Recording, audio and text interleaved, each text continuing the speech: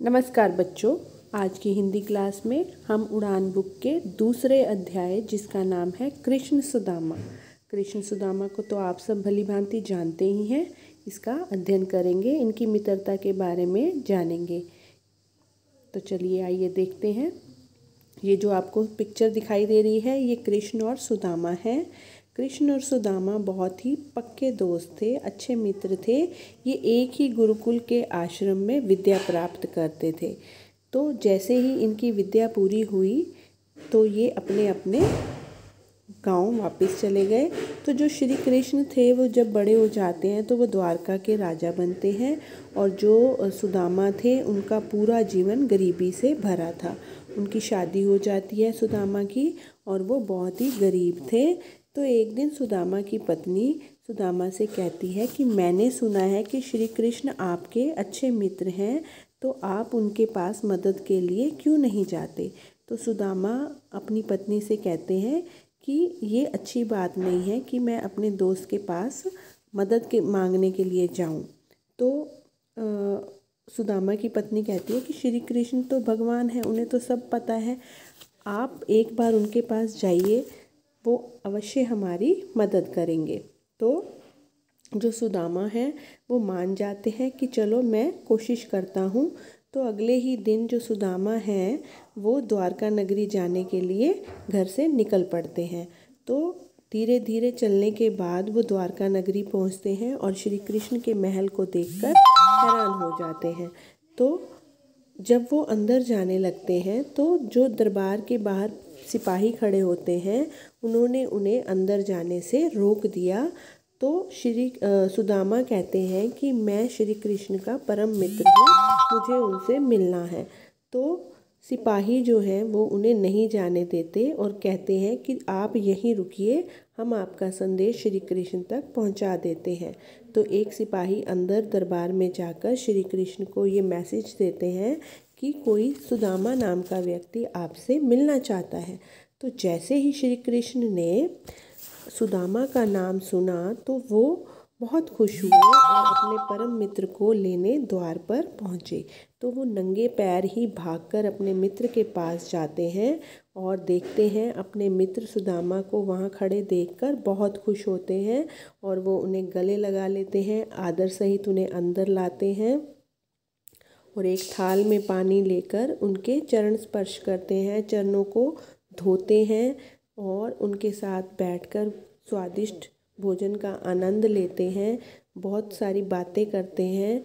तो ए, ऐसे ही बैठे बैठे श्री कृष्ण जो हैं, वो सुदामा से कहते हैं कि, अरे यार, तुम भाभी ने मेरे लिए कोई उपहार नहीं भेजा, पर जो सुदामा था, अपने दोस्त के लिए भुने चावल लेके आता है एक पोटली में जैसे आपको पोटली सुदामा के हाथ में दिखाई दे रही है तो उस पोटली में थोड़े से भुने हुए चावल थे। श्री कृष्ण तो सब पता था तो वो आ, सुदामा से पूछते हैं कि भाभी ने मेरे लिए क्या उपहार भेजा है पर जो सुदामा थे वो इत, इतने बड़े राजा को इतने थोड़े से चावल देने में उन्हें शर्म महसूस हो रही थी पर श्री कृष्ण उनसे खुद ही हाथ बढ़ाकर मांग लेते हैं कि मेरी भाभी ने क्या गिफ्ट भेजा है, मुझे दो।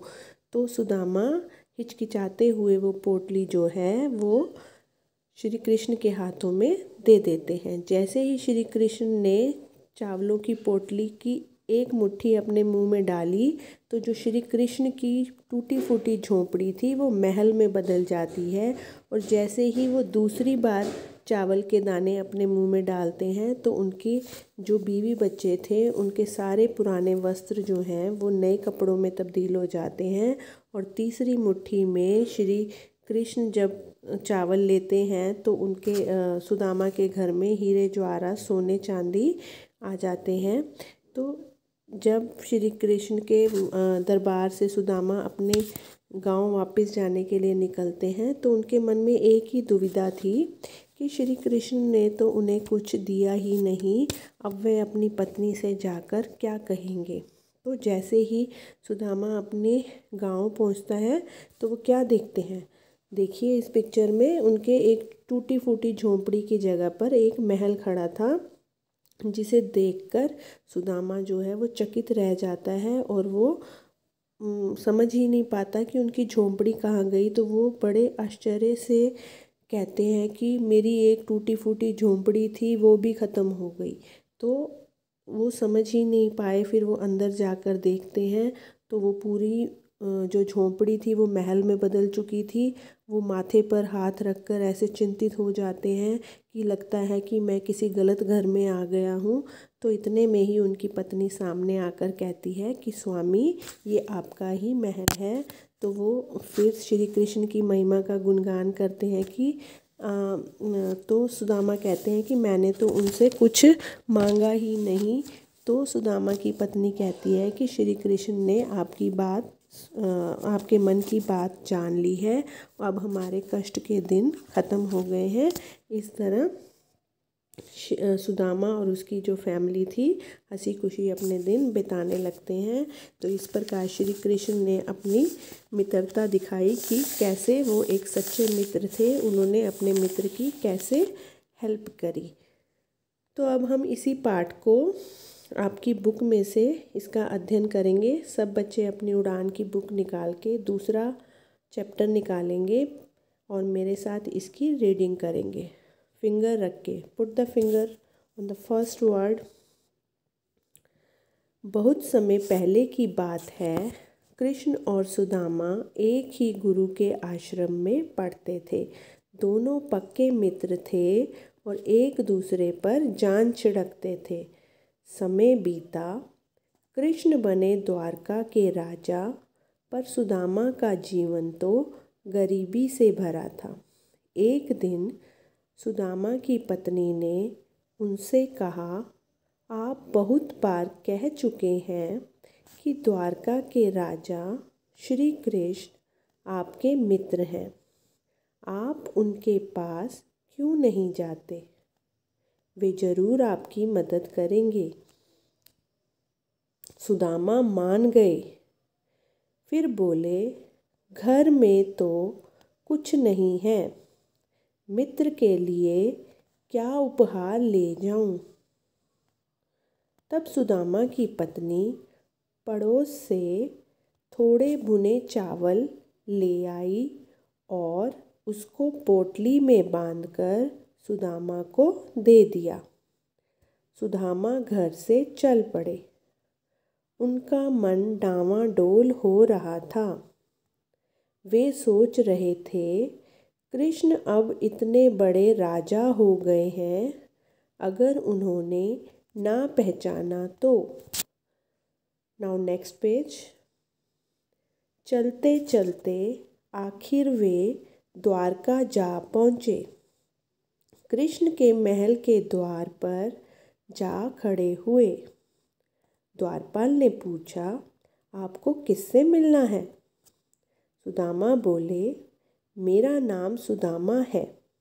मैं अपने मित्र कृष्ण से मिलने आया हूँ। जैसे ही भीतर जाकर द्वारपाल ने सुदामा का नाम लिया, कृष्ण दौड़े दौड़े बाहर आए। सुदामा को बाहों में भर लिया, फिर आदर से अंदर ले गए। परात में पानी लेकर उन्होंने सुदामा के पैर धोए।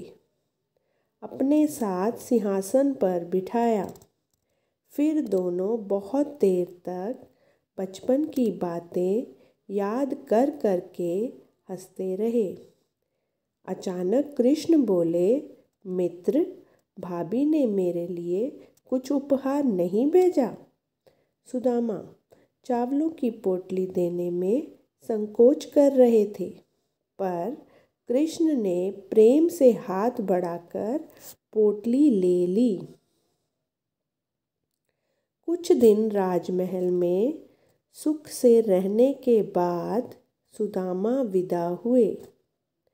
घर लौटते समय वे सोच रहे थे, कृष्ण ने तो कुछ दिया ही नहीं। कृष्ण ने कुछ दिया तो है नहीं। अब घर जाकर मैं क्या कहूँगा? नाउ नेक्स्ट पेज सुदामा जब वापस पहुँचे तो देखकर चकित रह गए। जहाँ उनकी टूटी फूटी झोंपड़ी थी, वहाँ अब महल खड़ा था। मन ही मन बोले, यह चमत्कार अवश्य कृष्ण ने ही किया है। उन्होंने मित्र का मान रख लिया। शिक्षा, सच्ची मित्रता कोई भेदभाव नहीं मानती। इसमें आए कठिन शब्द हैं जिनके मीनिंग देखिए। प्रेम मीन्स प्यार, उपहार, भेंट, संकोच, लज्जा या शर्म, द्वारपाल, पहरेदार, मित्र, दोस्त सिंहासन राजा की गद्दी। विदा, चले जाना। डावाडोल कभी इधर, कभी उधर। यहीं पर आपका ये पाठ समाप्त होता है। आई होप आप सबको ये पाठ अच्छे से समझ में आ गया होगा।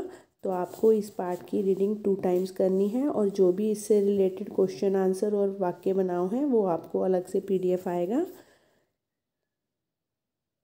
धन्यवाद।